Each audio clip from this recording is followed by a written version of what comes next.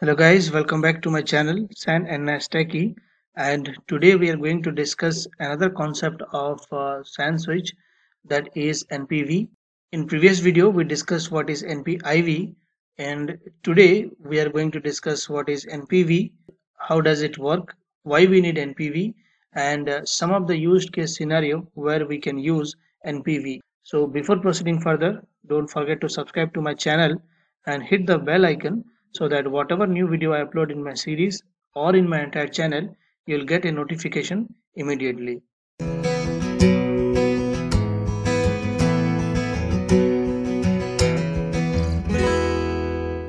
First of all, let's try to understand what is NPV in SAN switch.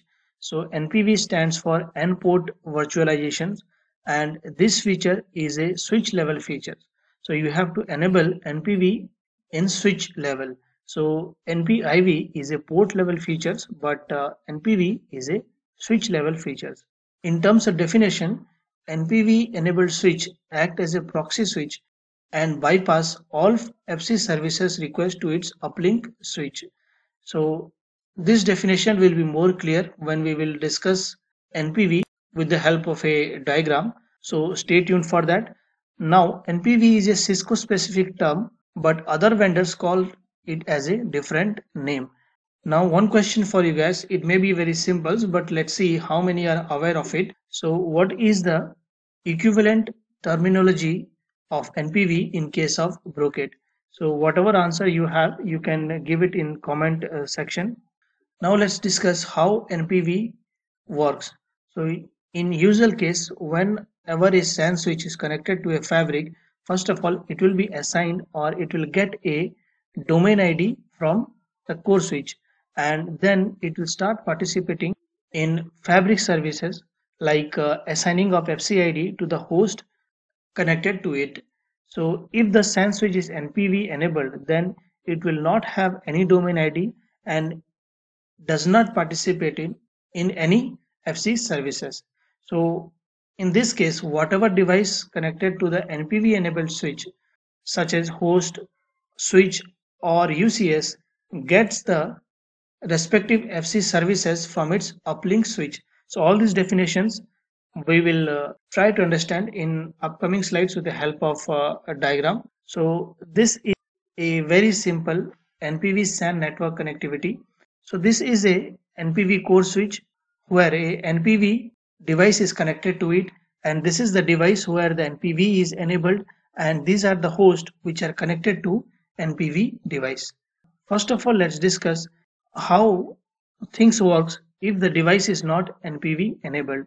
So once this device is connected to the core switch, it will get a domain ID and once it gets a domain ID and the hosts are connected to this switch, all these hosts will be assigned a FCID during the FLOGI process. Now, if this device is NPV enabled, then what will happen that whenever the host is connected to this uh, NPV device, it will send the request to this device for FLOGI process. But instead of processing that request, this device will bypass the request to uplink switch that is this core switch and the FCID allocations will happen from the core switch not from the switch where the hosts are connected. So similarly apart from that FCID allocations whatever request this NPV device gets from the device which is connected to it, it will bypass those requests to its uplink switch. So now let's discuss some of the used case scenario of NPV.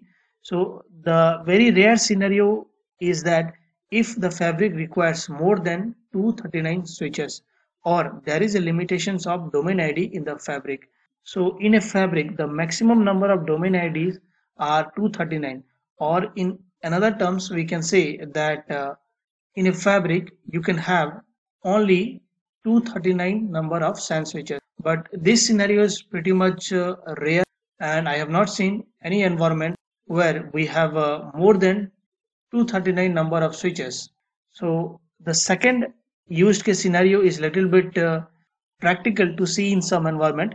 That is multi-vendor SAN switches are in same fabric in interoperability mode. So what does this mean that if you have a fabric which consists of Cisco switches, but you also have some Brocade switches in your environment and all those switches that is Brocade and Cisco switches are connected to the same fabric, then NPV is the features which is used for the communication between those two switches and those two different switches must be in interoperability modes. Now another scenario is that three steps of migration of SAN switches from one vendor to another vendor. So let's consider if you have some Brocade switches and now if you want to migrate those Brocade switches to a Cisco switches then in pre-steps or the pre-steps of migrations you can enable the Brocade switches as NPV and connect those switches to your Cisco switches. So migration steps is a little bit complex and uh, it's a bit out of scope for beginners. That's why I'm not explaining what are the exact steps, but uh, these are the most uh, practical scenarios where you will use NPV. Now let's try to understand the used case scenario of NPV with the help of a diagram. So this is the same diagram that I have explained earlier. So the first scenario is that if your fabric have 239 number of SAN switches. So as we know that each SAN switch in the fabric should have a unique domain ID and if you have 239 number of uh, switches then all the switches will have unique domain id so this in turn the maximum number of domain id that is 239 is reached.